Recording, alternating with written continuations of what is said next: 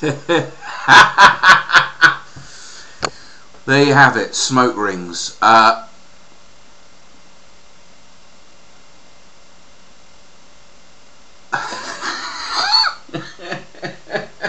a few more, but this uh, I did say Alex. I would uh, I would uh, blow a few smoke rings in my next video.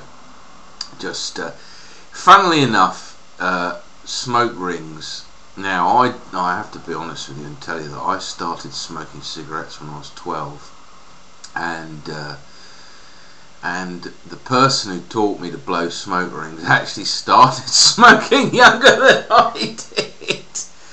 But uh, you have to get a good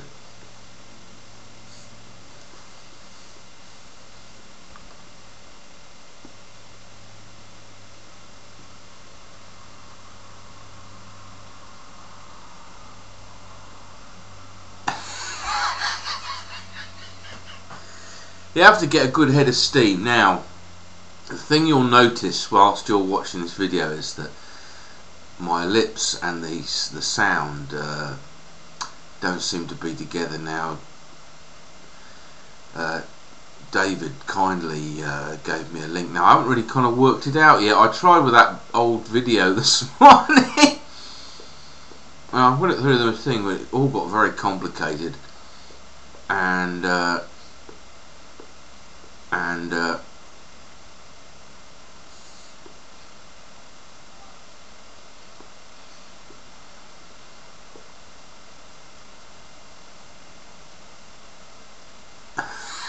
uh, and I and I, I, I, but I am endeavouring because to be honest with you, I'm surprised nobody's mentioned this before to me because it my my video is kind of like a strange foreign film that's been badly dubbed, you know. There's some English guy in a studio somewhere dubbing all of my videos. So, oh, uh, yeah, so anyway, I am endeavouring, this video will not be, uh, as I've not worked out, I'm not sure whether you have to kind of, I, I really don't know where to find the files. Once I've, I kind of did the Blake Mole one, put it through the, uh, the mach the uh, machine, the software that uh, David kindly pointed me to, and um,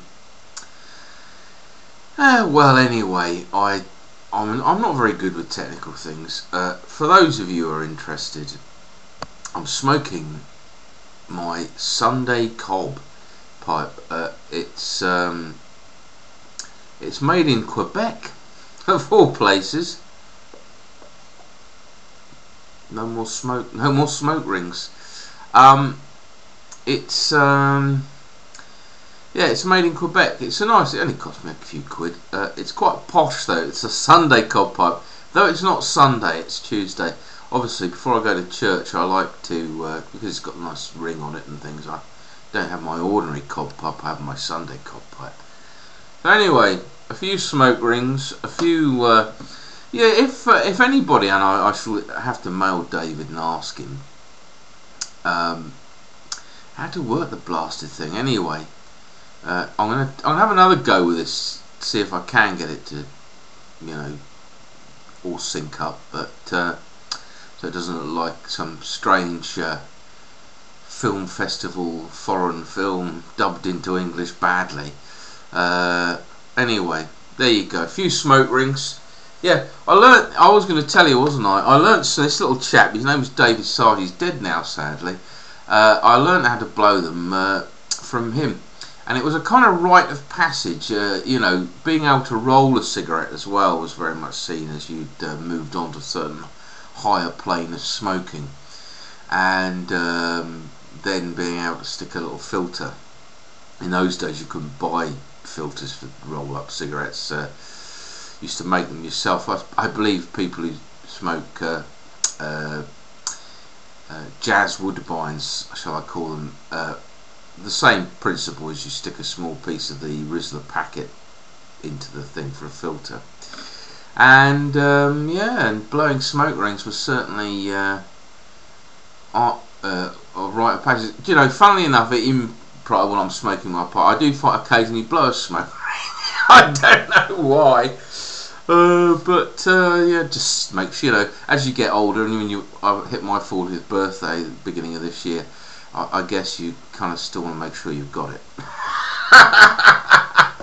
anyway, I am going to continue to endeavour with the technical difficulties, uh, and I very much appreciate uh, David. I very much appreciate and thank you for uh, helping me out with this, and I shall you know, it takes me a while to get these things sorted out, but I will get it sorted out.